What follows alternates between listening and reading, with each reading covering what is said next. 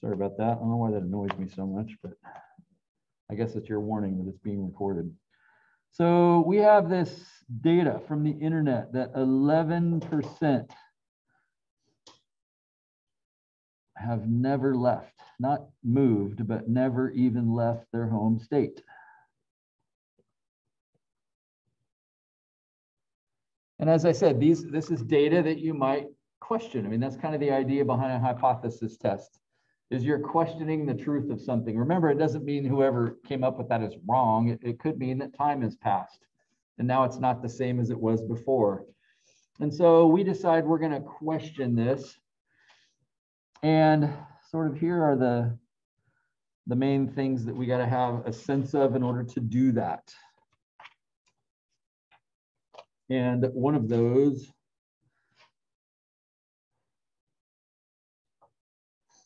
would be this alpha term in the wrong section.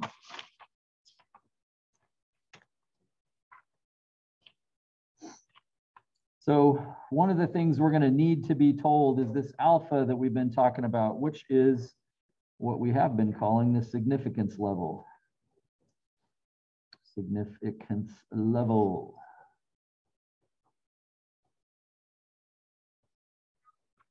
And I'd kind of like to add to that sort of the, this is kind of like the chance that you're wrong. And so we'll say we're good with, uh, I don't know, a 6% chance that we're wrong. So that's something that has to be given. As far as, as far as a homework question, that's something that would have to be in your homework assignment. They would say, they would say, let's go check and see if they're right at a 6% significance level. And basically what that means is you're accepting that there's a 6% chance you're wrong. Remember when we did a confidence interval, we said, let's do a 94% confidence interval. And basically that meant we're 94% sure that the actual population proportion is inside this range right here. It included that error. And so if we say we want to be 94% confident, then, then that matches what we wrote here, which is, oh, you mean there's a 6% chance that it could be wrong? Yeah, exactly right. This is, it hasn't changed at all. It's the same exact concept. So, okay, cool. Now, secondly, is kind of this idea of a, of a tail that we talked about last week. In other words, do you think that's too high? Do you think that's too low? Or are you just kind of questioning it, saying, well, it's been, you know, 10 years since that study was done and let's go do it again. I'm not really sure. Um, let's start off with, let's start off with a guess. In other words, you think it's high.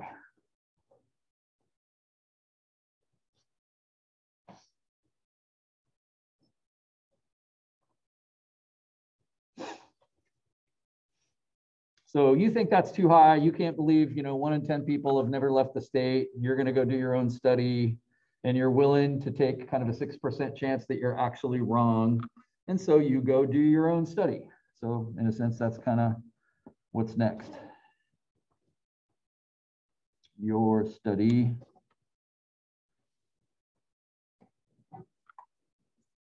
And so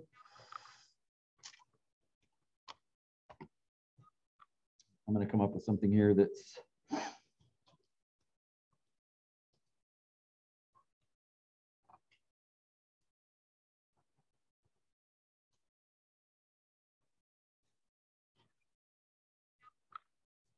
So your study, you ask 352 people. Does that feel like a pretty large number? Like, yeah, that's that's going to take me some time. And you discover that 24 have never left. Again, with respect to your final project, can you imagine yourself doing this? This could be the kind of thing that was your final project. That's how you get a percentage. Do you also agree that a percent is the only way to even discuss this question? You can't say nine, 19 people have never left the state. That doesn't mean anything unless you say 19 out of a certain number. You can't say 24 people have never left without also saying 352. So the data here is kind of um, automatically a proportion. So as you know, that would mean, I'll change colors again. that your p hat would be x over n. You found that 24 people out of 352 had never left. And because that by itself isn't something I can really think about, I mean, it's a fraction and I don't really know what to do with it. But if you divide that, you get 0.068. Does it make sense that your reaction is, aha, I was right? Does it make sense that should be your reaction to that? C, I thought it was low, went and did it, and it was low. I was right. However, when you did your study from this last section,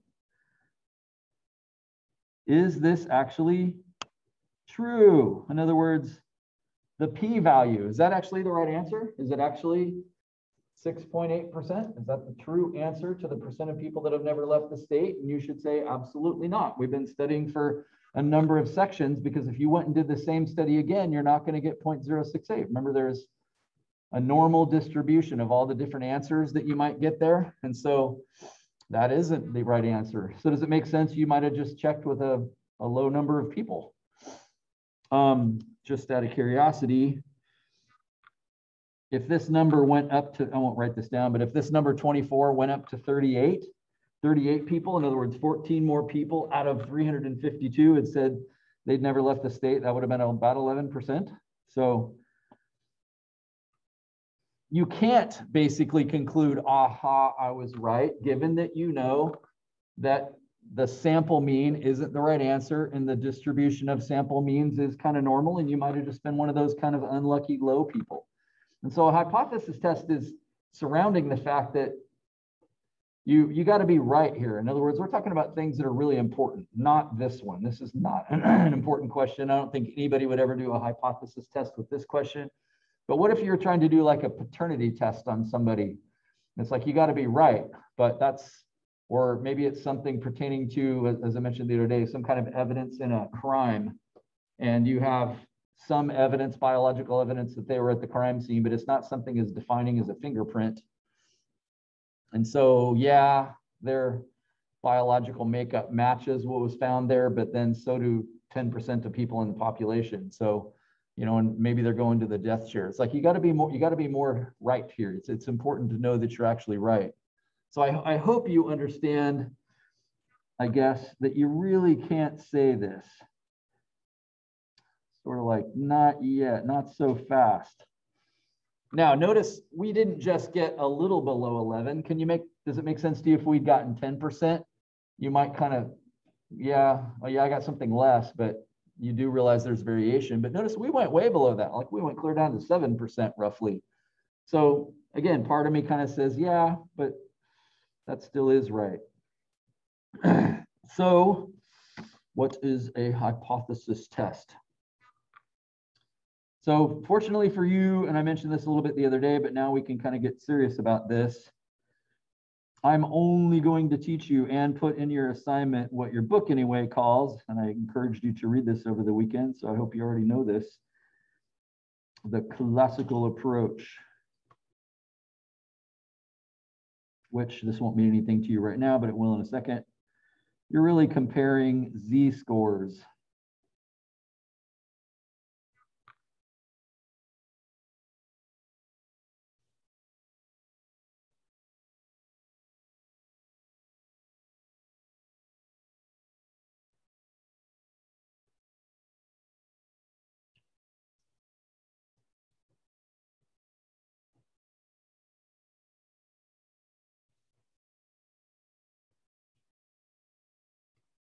Now, here's the deal.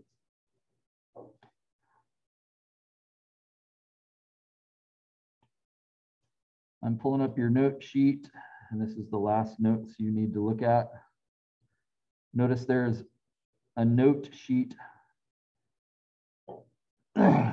for a test statistic. Again, that's a word I put in red because it's going to be in your assignment, and I'll use it so that you get familiar with it.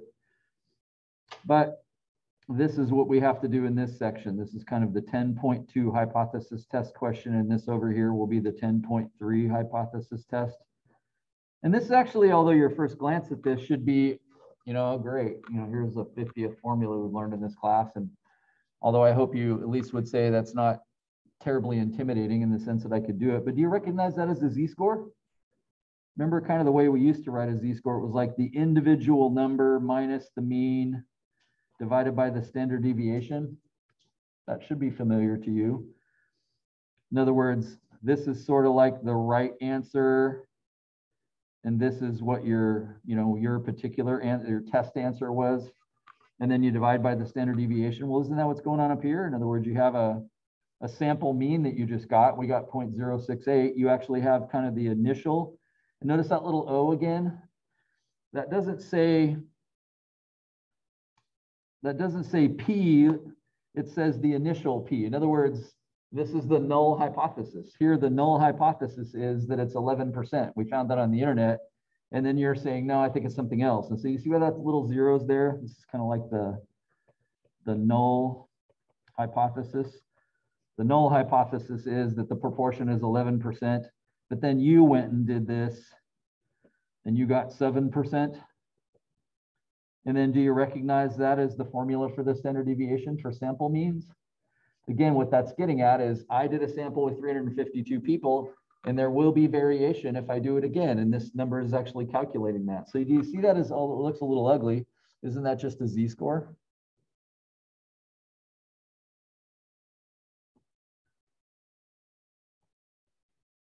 Let's see. I think I'll just copy that and bring it on to the other page. So this is all we need for 10.2 really what it comes down to.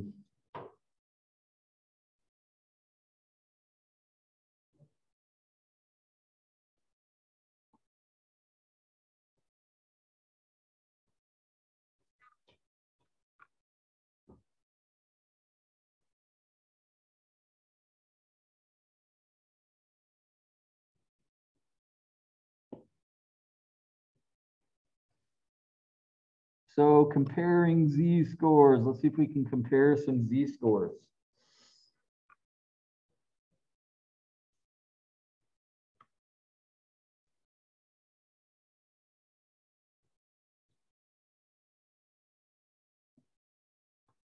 And I, I, said this up there just a second ago, but let's let's kind of just to make it clear so that you can read this in your assignment. First thing we got to do, like if we're going to compare them, we need two of them to compare. The first one is the test statistic. And again, I don't care about this except for your assignment will probably ask you this kind of thing. It's really just the two z-scores. We're going to get two z-scores for this and we're going to compare them.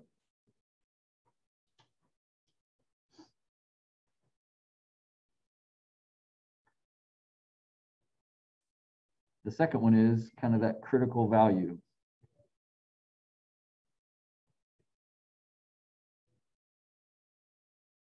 Okay, so what's the critical value look like? In this case, again, this shouldn't be totally unfamiliar to you. Do you agree that when you said you think this is too high, in other words, you thought the answer was going to be less, does it make sense in this case, according to your 10.1 assignment, this is left-tailed, this is a left-tailed test? You said you think it's less. So because you said it, you committed to a side, that means all 6% is down here. And the remaining 94% is up there.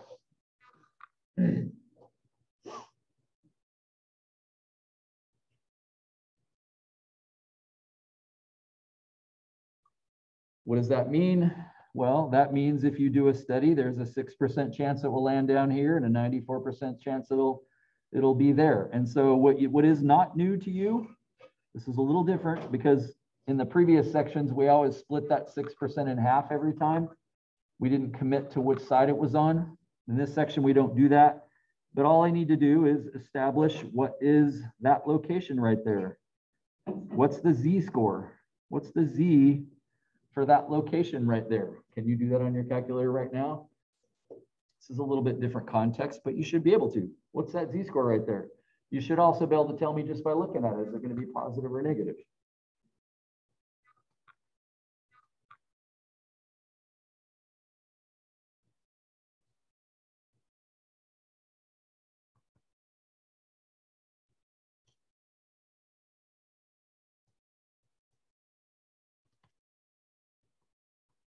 Notice it's a z-score, so the mean and the standard deviation are zero and one.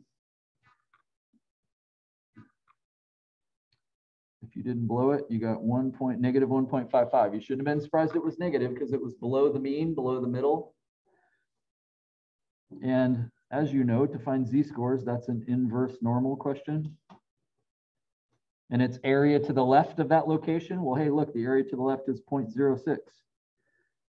And the mean is zero and the standard deviation is one. That's where I got that number. Now, the reason your book thinks, oh, we should have a name for that is because that's critical. That's a really important point. It's a really important location.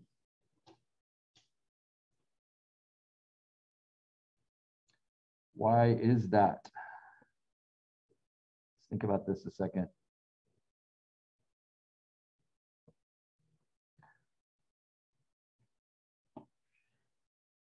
Would you agree that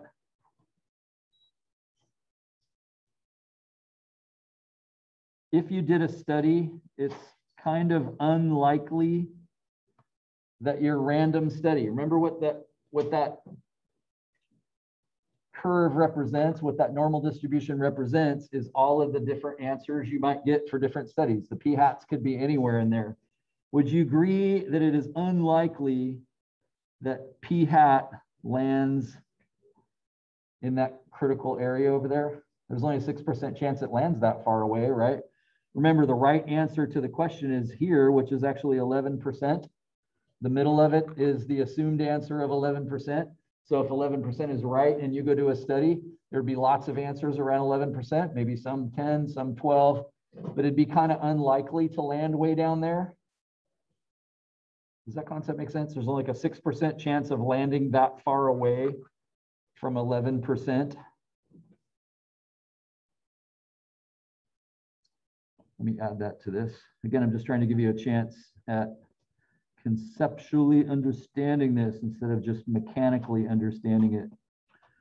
So if this represents 11%, the question is where our study, we got roughly 7%. The question is, where did it land?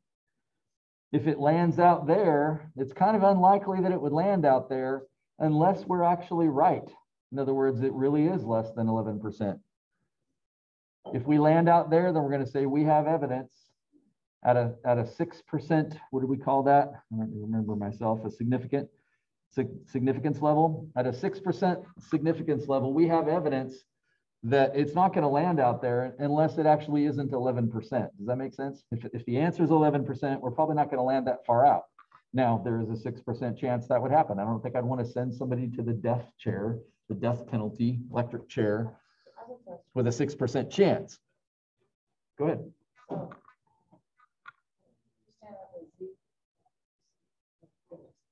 Um, I how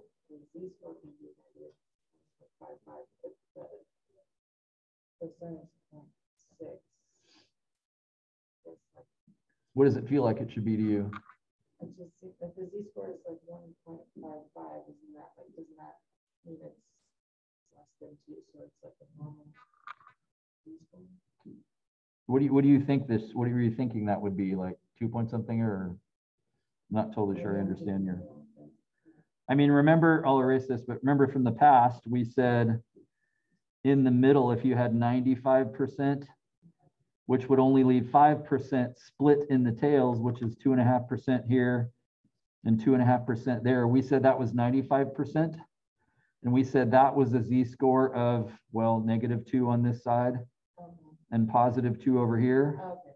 Well, notice that's a way smaller percent, and so that's a way larger number. We're to the right of that.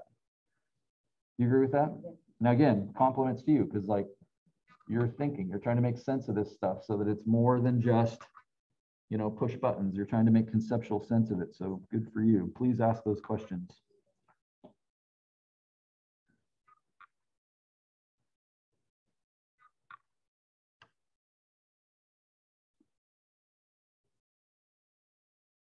So if P really is 11%, do you agree that it'd be kind of unlikely that you would have a study that would land that far away? There's only a 6% chance it would land that far down. Does that concept make sense?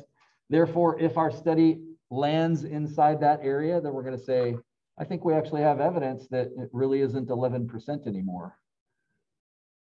Now, if it lands in the other side, then it's kind of like, well, hey, you know, studies vary the answer is 11%. You happen to do a study that was seven. And, you know, since the studies are normally distributed, it's not that weird. I mean, there's kind of a 94% chance to land in the other side. You landed in the other side.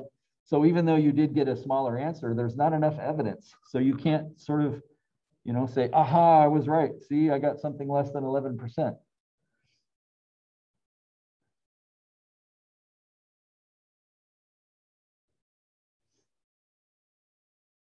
So ultimately, we're going to say is if it lands here, we don't have evidence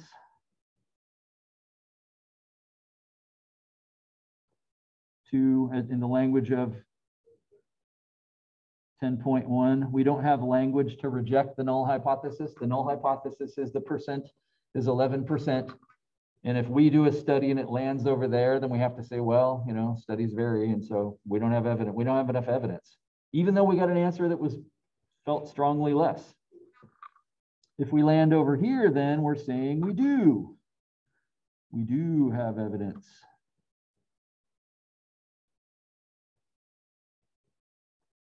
to reject.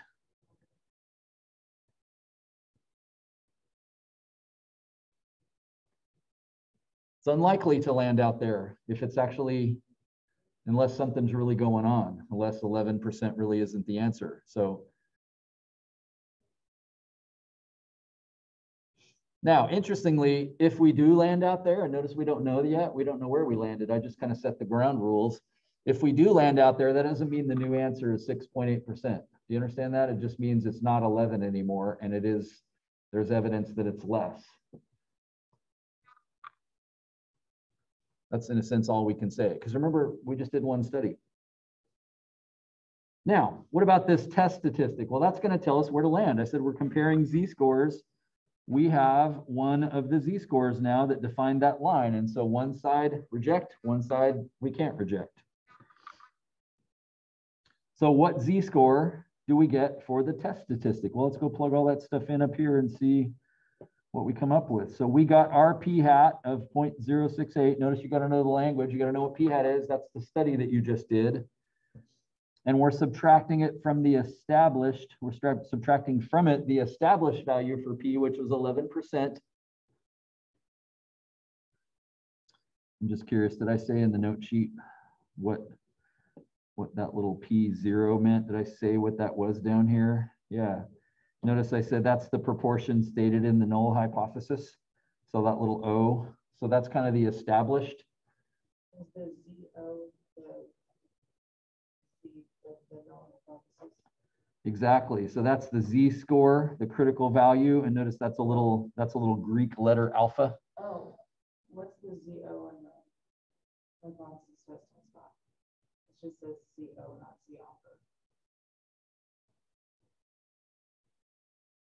Oh, this right here. Yeah. yeah, that's again kind of the established Z. So In other words, that's the initial Z value. The Z value based on 11% basically being the sort of the right answer to this question. So again, as far as, as far as my test is concerned, I definitely don't want you to get this stuff wrong because of all the language, which is why I'm trying to put some of that language on the note sheet.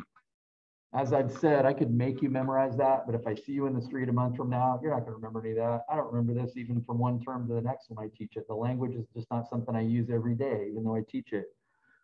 So I don't want you to get this stuff wrong because of language. So that little PO is defined on the other page. And then what am I dividing by? Well, the square root Notice which P, do you agree I have two P values here? Which P am I using to do this calculation?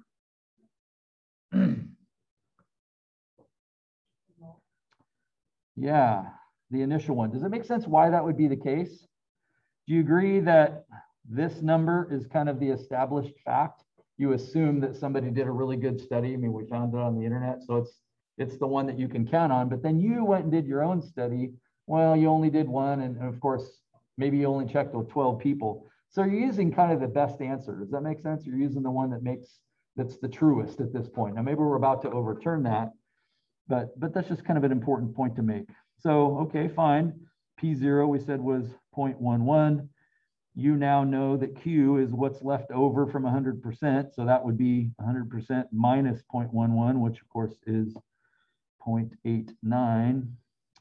And then you divide by N. and notice we don't know the original N, like which N is it? We don't know the N that came from the 11% study up here. We just found on the internet it's 11%. So the only N we know is the one that we that we did, the 352. So that N will always come from the study that you just did. And so all of this calculation is going to tell me what side of this red line am I on. If I get a z-score that's further away than negative 1.55, like negative 1.6, negative 1.7, negative 2, negative 2.2, then I'll land in this area. If I get something smaller, negative 1.5, negative 1.4, negative 1, something like that, then I'll then I'll be in a different. So it's it's all about like where where do I land as a result of this? Do you see why we're comparing these z-scores up here? Well, let's see. Again, you could screw up the order of operations here, but I hope you're uh, practiced enough at this kind of thing that you're not making those mistakes too much anymore. I would very much encourage you to type this in and get the same answer I got and bug me when I'm walking around later if you don't. I got negative 2.5. I'll call it 2.52.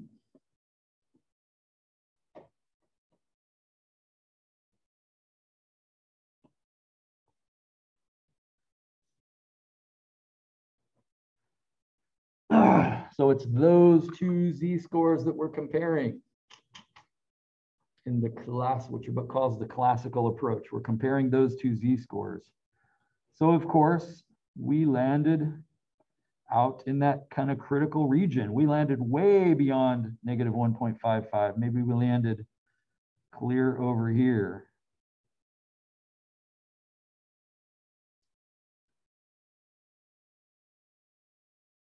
So now we actually can say what we initially thought, which was, aha, I was right. it is less. See, now, why was there evidence? Well, it's because you checked with a lot of people.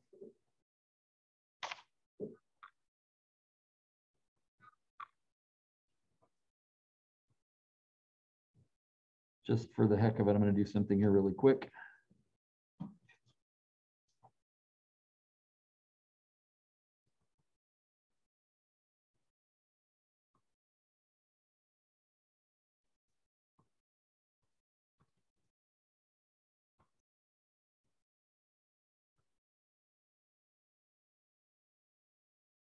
I think I think I'll erase this, but just out of curiosity, if this number right here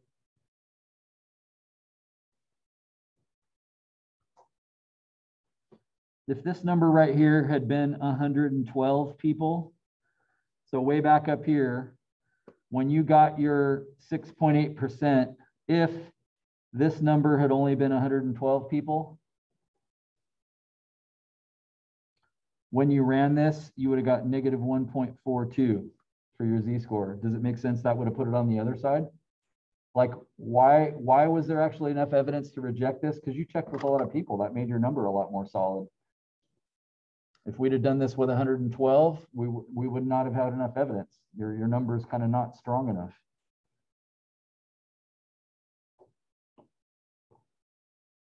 So you, in a sense, do you see why this needs to be done? If you get 7%, well, it depends how strong your number is. How many people did you check with? And, and we know studies bounce around a little bit. And so the fact that we checked with so many people is what caused this to, to actually be rejectable, if you will. Let me go back and erase what I wrote here so it doesn't screw up your thinking. We'll do more examples.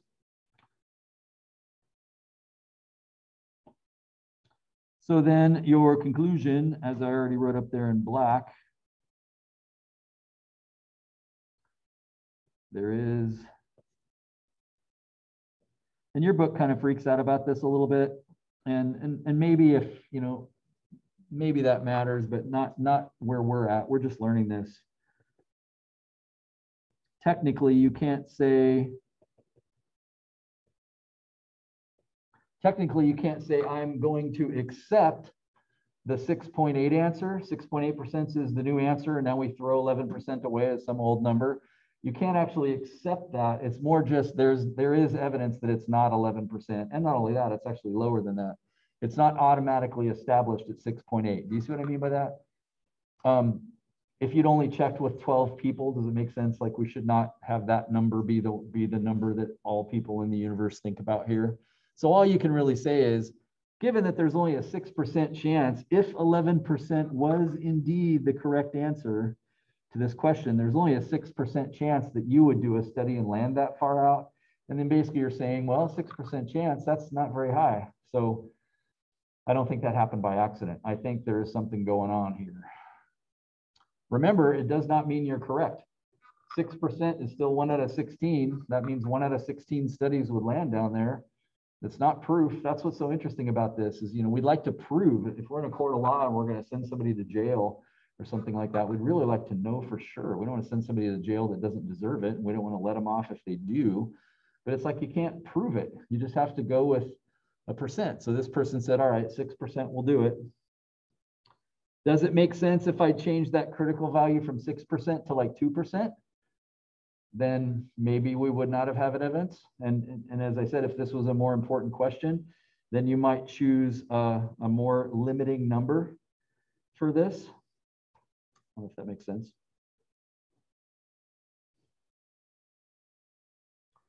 So as I said, we're just going to do some more examples of this to try to get this to go a little bit deeper in your head. Yeah. We go to this and these questions, like, there's not, we don't have to go through the steps of like figuring out if they, like the the last part where. Are you looking on the note sheet? Parameters, like getting, um, sorry, I'm having a hard time explaining what I'm confused about. Um, in the last one, when we did like a study, we had to figure out the parameters that it would have been, uh, like, within. That doesn't have any effect on this? Yeah, reality is, Do that first and then do this, this is just like. yeah, this is all you have to do. Okay, Yeah. that's what I was, That's correct. And that's what's kind of annoying is we're actually not doing any different math than we did in the previous section. It's just we're doing it all kind of from a different point of view. If in the last section, if we did our study and we got p hat was 0.068, and then we did all that other stuff we did in chapter nine, and let's say we got an error of, let's say 2% in our study, does it make sense? Then you would say, oh, okay, well, I'm now 94% confident. Remember, alpha was 6%. So we're 94% confident that P is, well, I could add two and get, so let's make this, let's make this four. So you have a 4% error. Then that would take this up to 10.8% and all the way down to 2.8%. So we're basically 94% sure that the real answer lies in there somewhere. But did it, did the answer that did it, did it? Like, wasn't P 11%? Do you see how it's like, it's outside of that range? In a sense, if we were to do this problem in, in that exact same way that we already understand, since P is not in that range at 11%, then that kind of is evidence that, well, something's going on here then studies bounce around. This bounced around a lot, 4%. If I go 4% above and below my study, the highest I get is 10.8%. So, you know, it kind of means like, I don't think that's true anymore. Do you see what I'm saying? It'd be the same math. It's kind of like, well, so which one's like more reliable, which one's the one that would be used for, like, I remember last week you were saying that like ten point two and stuff we would necessarily be using, or they, they, they're up to now, but it's like the same information, the other, like nine point two, that's the more, like that's the more reliable data, or? they're actually identical. The only, they're out the identical. Yeah, you'd get the same conclusion every time. Oh. So that's, as I said, what kind of bothers So do you me. know which one to use? Well, you're, we're using what I showed you today. Oh, Like, okay, yeah, just just- based on what it says on But, but as a teacher, because I'm interested in conceptual understanding and I want people to actually be able to make sense of things, I, it bothers me a ton to sort of teach you the same logic, but now we're just doing it a totally different way. And that's bothers me and it's bothering you. So yeah, I mean, this, what you just did right there, that's what you're gonna do in ten point two. That's it. Every, every time. You're gonna compare those two z-scores. Notice one z, just think about what the ingredients were. This z-score down here came entirely from that alpha number, that significance level. It came entirely from that number. We got a z-score from that. And then we got a z-score from our study. And then we just compared where did it land. Let's do it again. Let's see, what other interesting percent data, percent data do we have?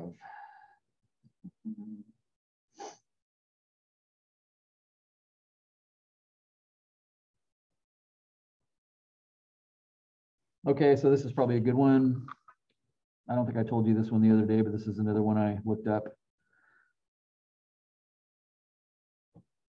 Eighty-five percent of Americans own a smartphone, not a cell phone, a smartphone. I think that just means it's got the internet, right? Am I right about that? Apps and you can get on the internet.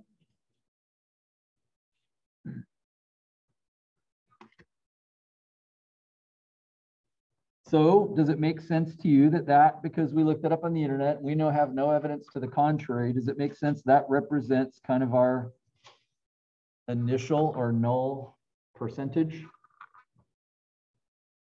I don't, I actually don't know if you have to say this in this section, but then it's kind of like, okay, the initial hypothesis is that P is equal to 85%. So again, that's why they put the little zero down there because it's kind of like it this entire statement right here is now kind of summarized by just saying P0 is 85%. That's the established wisdom. That's the initial, that's the initial thought. That's all we have to go with. And now you're wondering, has that changed? And of course, over the last few years, that number's grown a lot. Probably six years ago, that number was probably like 20% or something like that. So again, this isn't somebody being wrong. It's just, it's growing and growing and growing. So again, if you cared about this for economic reasons or whatever, you might say, I'm, I'm not sure that's true, or I think that's changed. Maybe, and maybe you think it's rising. So last time we said we thought it was 11% was too high. Well, maybe this time we think it's too low.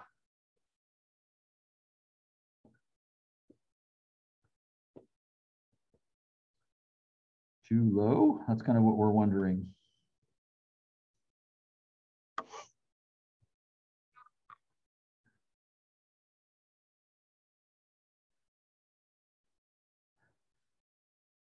And so let's say this matters to us more than the last problem. And so we decide we want there to be a 2% chance for error. We only want to be have a 2% chance that we're wrong. That's a tougher measure. Do you agree with that? That's asking a lot more now. We're saying if we're going to send this person to the electric chair, so to speak, we want to be sure. We only want there to be a 2% chance we're wrong.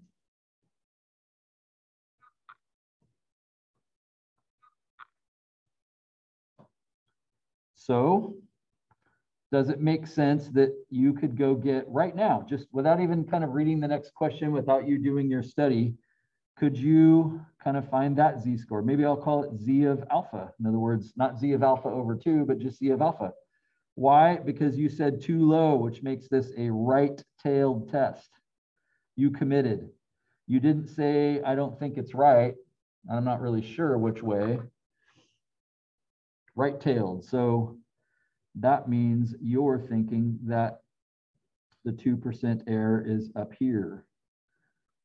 And that means the other 98% is over there. And so just like last time, we need, we need to know what that z-score is right there, because that's what separates likely from unlikely. Very unlikely to be in 2%. Very likely to be in a 98%. So again, as you did before, you do inverse normal. But this time you don't get to type 2 in, right? You got to type area to the left. This time it's 0.98 that you've got to type in.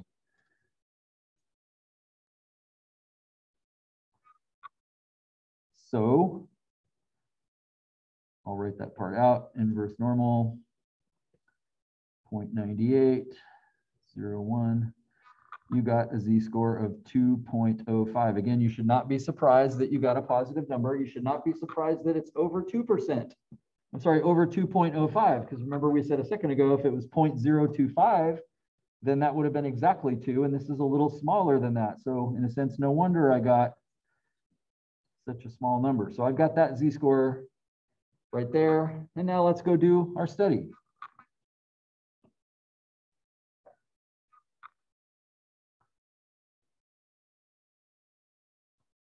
Let's see, and I'd kind of like to try to make this work out a little better this time. So give me a second to kind of make up a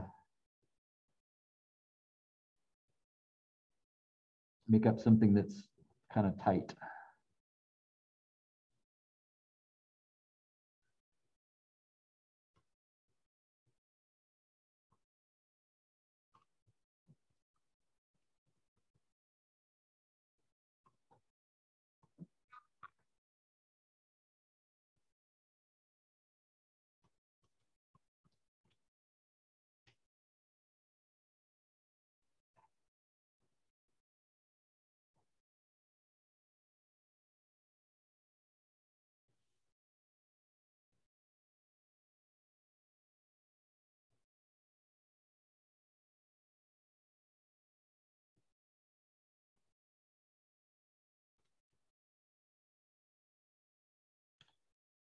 Let's see, what am I doing wrong here?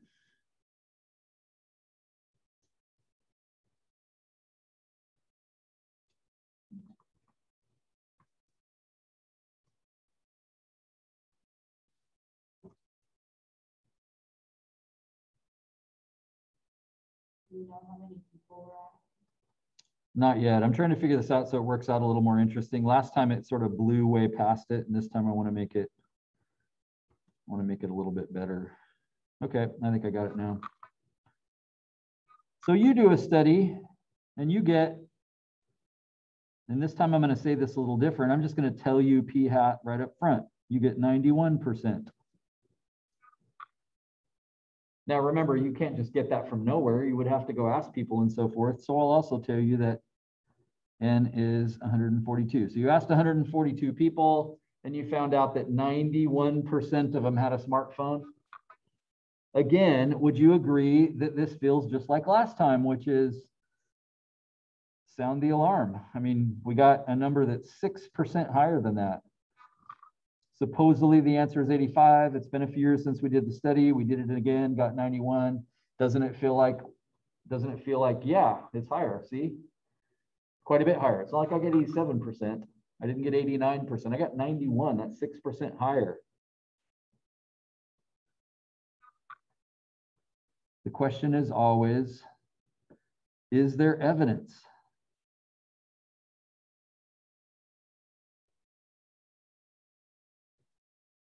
That indeed 0.85 is too low?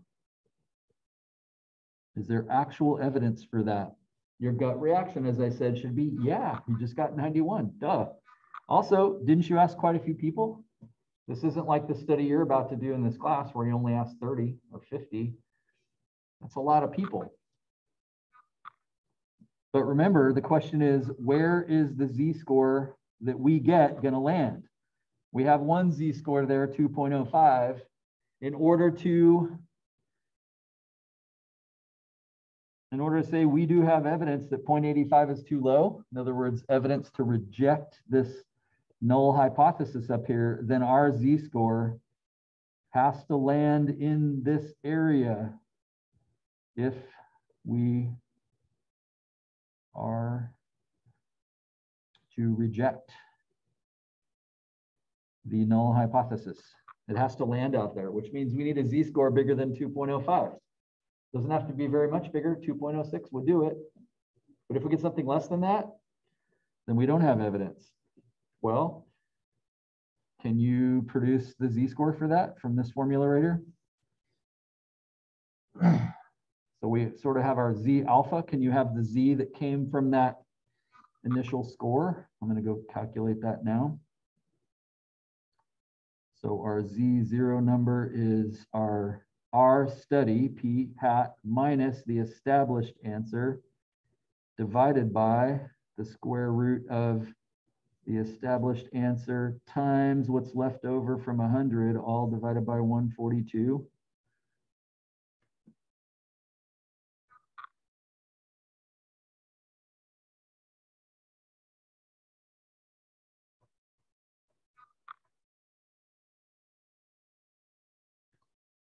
Punch that in.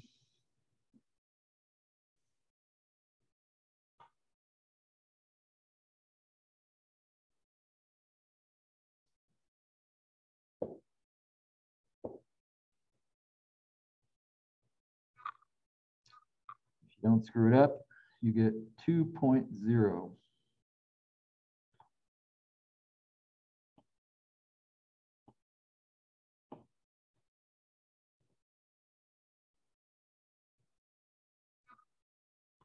So hopefully shockingly, there's not enough evidence. Do you see where it landed? Where did it land? Notice it wasn't by much, but it basically landed right there. It landed in the 98% area.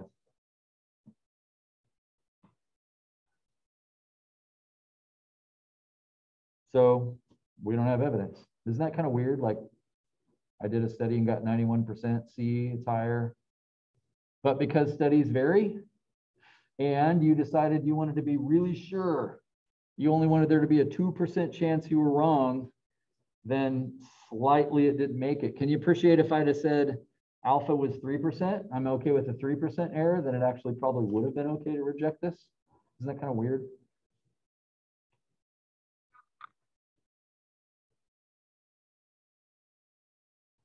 So the important conclusion here is this is not, not in that tail. I think your, I'm sure your book has some name for that, not in the critical area or something like that.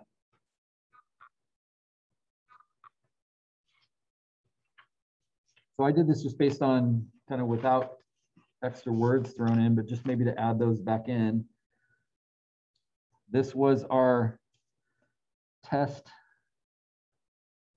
statistic. Your book will probably ask for that. We just found the test statistic. And this was the critical value. So if they ask you for those specifically,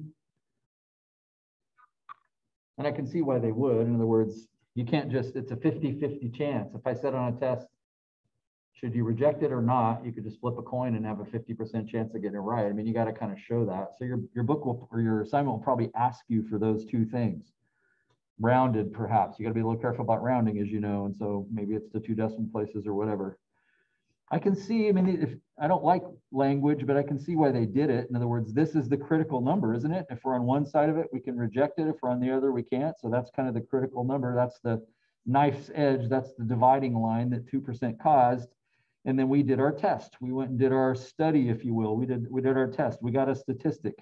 A statistic meaning, remember that changes. I went and did it with 142 people. I got my test and oh, it actually landed in the big area. So conclusion is I don't have enough evidence.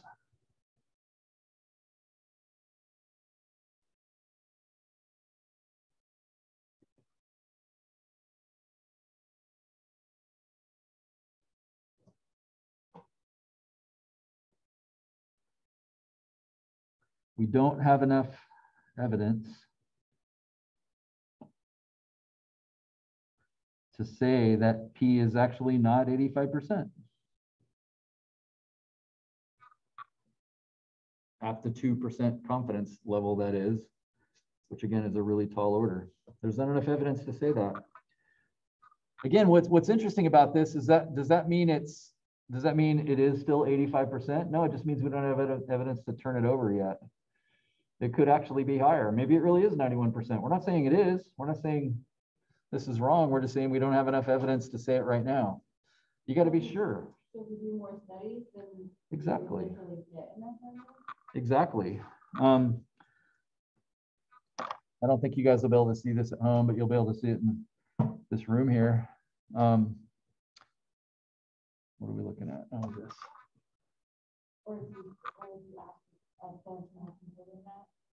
Yeah, exactly. Is it- is that number like that because you only asked a hundred and forty people? Yeah, and this is why I played with this a little bit before, but see, what if you went, what if you went and redid this and it was like hundred and eighty-nine people? Does it make sense that's a hair stronger now because you asked more people? Notice the Z-score is now two point three one, and now then you would have evidence because it's a stronger number than it was before. You see what I mean? Isn't that kind of weird? You definitely want to always ask a bunch of people. That's exactly right.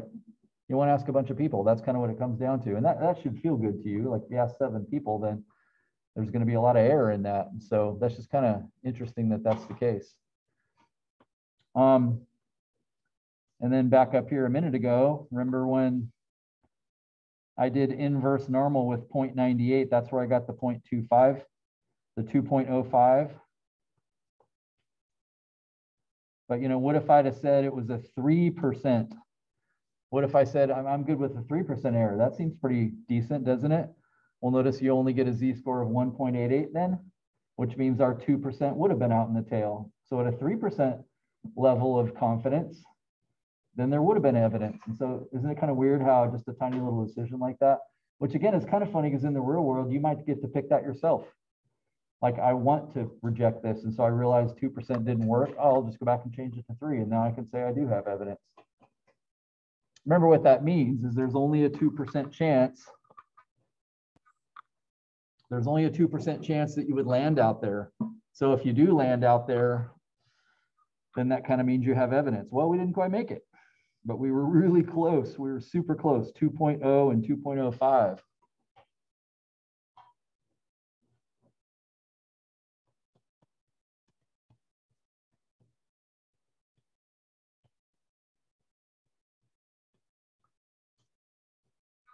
So on your final project, if you are doing something that is something that involves a percent, this is a calculation that you could actually make, which is kind of cool. Do we need this on our final project? Um, yeah, one of, one of your goals is to try to get in every calculation we've made. Um, it should feel like in your final project, you're gonna get an answer to your question, just like we did here from a study. And what was yours again, Shelley? We talked about in class, but also I can't remember. I changed mine again. Oh, you did? I changed it. Um, but if you can find an answer on the internet to your question, of course, it'll be different than what you found. And, and again, probably the internet would be more trustworthy because you're not asking that many people.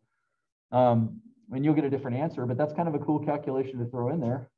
In other words, I don't have evidence that my actual answer is better than what's on the internet because I only checked with 32 people. So yeah, if you can throw a hypothesis test in there, one of your part of your grade for this, and it shows on that sheet, is kind of maximizing the number of calculations from this class that you could squeeze in there, just kind of demonstrate that you learned something in here.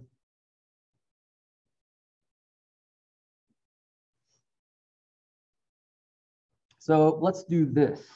We, we're going to talk about this more tomorrow.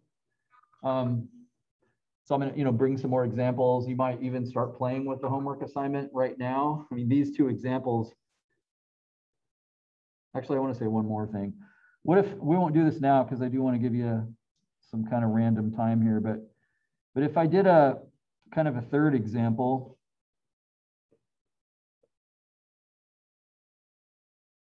I'll just say this much.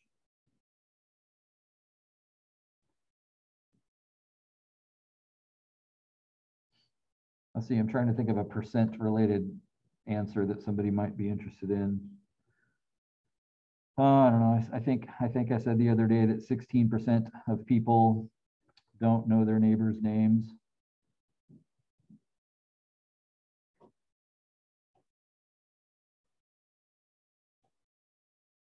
They don't know their neighbor.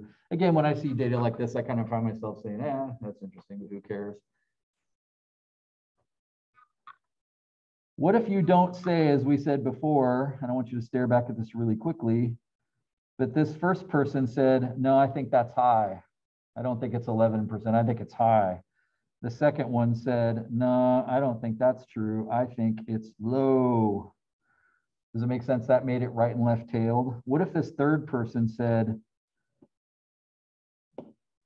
you know, I don't think so.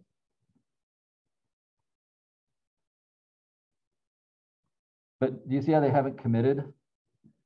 They're not saying, I think that's too high. I think that's too low. They're just saying, I don't know, let's redo the study. In a sense, oddly, this is kind of what people do in the real world. In other words, you you just redo a study, but you're actually not sure ahead of time. You're just saying, I don't know. Kind of like low, high, I don't know. I don't have a strong opinion about that. Does it make sense that this is where you had a two-tailed test? Now, why was that important to note? And we'll, we'll do an example of this and pick it up tomorrow. But basically that means if you were making that calculation for, notice I have to even look at the language myself because I don't remember it, the critical value. If you're gonna get that z-score right there, does it make sense? All of our 2% went in that upper tail because we said we thought it was too high. This person isn't committing. So this is a two-tailed test. So if somebody said, all right, well, let's do this for an alpha of say, let's quit being so nice. Let's do something that's not going to come out so easy. 7%. Well, because you haven't committed, you can't put all 7% on the left tail or the right tail. You got to split it up. So that's why it's important from 10.1 to kind of recognize this is a two-tailed test. So then your z-score that comes from that alpha is going to be based on this drawing where you say, oh, leftover from seven is 93%, but just like we did in the previous section, I'm going to put that in the middle and I've got to put half of 7% in the upper tail and half of 7% in the lower tail, and I'll get a z-score from that. And then when you go do your study, it's like you don't even have any idea. Maybe you won't get 16%, probably you won't, but you're not sure. You're going to get 18%, you're going to get 14%. You don't even know.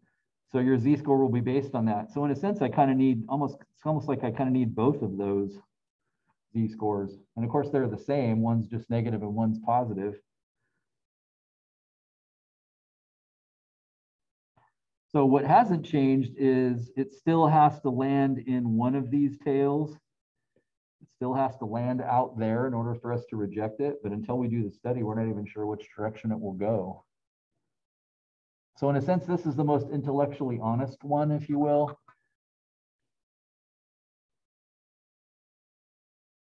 Is a two-tailed test.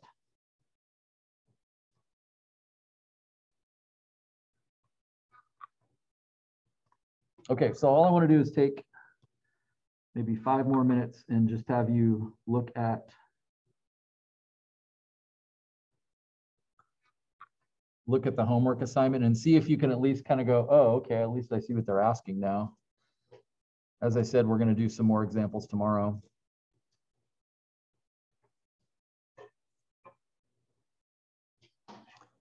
Two more assignments. Oh my gosh, that sounds wonderful. Notice there's only five questions, six questions. There's only six questions. However, there's a lot of parts to them. So it's actually still worth quite a few points. But let's just stare at number five randomly. To test the claim that the pro proportion of men who own cats is significantly different. Notice it says significantly different. It didn't say more or less. Is 90%. Yeah, yours, yours might be a little different. It should be actually the same wording. Number five, question five. So test the claim that yeah, so see, that's a variable. Yours said smaller, meaning left-tailed test. Mine said different. In other words, they don't know. Mine's a two-tailed test. Yours is a left-tailed test. So apparently that word different is a variable from person to person to person. And notice it says at the point one significance level. Notice I got to know the word significance level or I don't know what that's talking about. So that's kind of saying alpha is 10%. So again, what's your thought? The percent of men, and probably 90% is a variable too, but it says the proportion of men who own cats is 90%. Do you think 90% of men own cats? That feels high to me.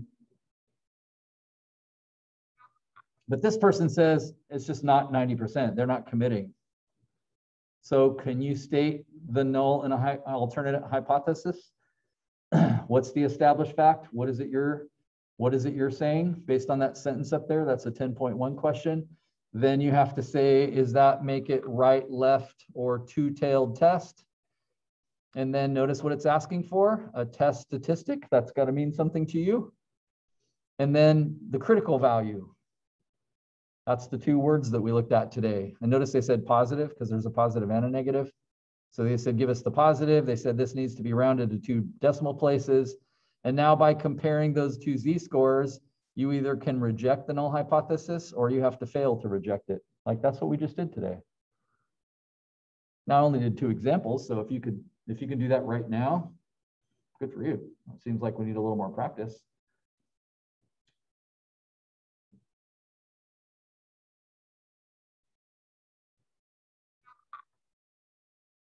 Now notice as it turned out, this person did a sample of 50 people and they found 86%. So sure enough, they didn't get 90. Um, from this though, notice you can't say, oh, it's lower because because they're they initially started this whole thing because they disagreed.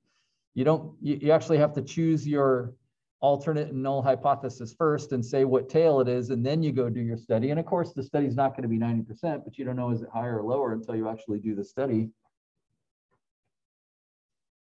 So I'm going to shut up. I would advise you to ask me some um, some final project questions if you have them, because remember we're gonna you're gonna be done with this and even giving a little five three to five minute presentation next Wednesday probably. Next Wednesday, our, our last test is on Tuesday, and so you're only you know a little more than a week away from that. So if you want to ask me any how does this looking stuff, um, is there any stuff I should add? That kind of a thing. You're more than welcome to ask that. Um, I think that'd be the best use of your time, honestly, because I, I, I want you to do well on that and I'm happy to advise you a bit. Um, even correct stuff that's wrong and so forth if I can if I can do that quickly. Um, but of course, if you either are feeling like you're rolling on that or you just don't feel like you have any questions right now, you're more than welcome to take a stab at this. You do get three tries. Um, to that end, I'm gonna I'm going to share my screen again and put up the notes that I just made. So if you do decide to kind of play around with this, you can.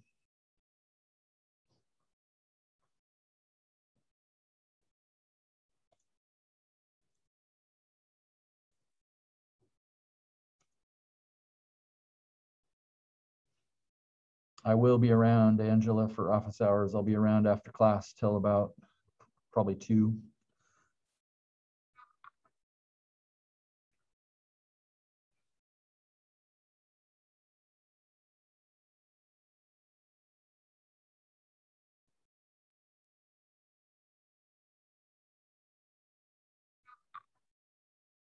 So I, I think I'll just leave that last example up there.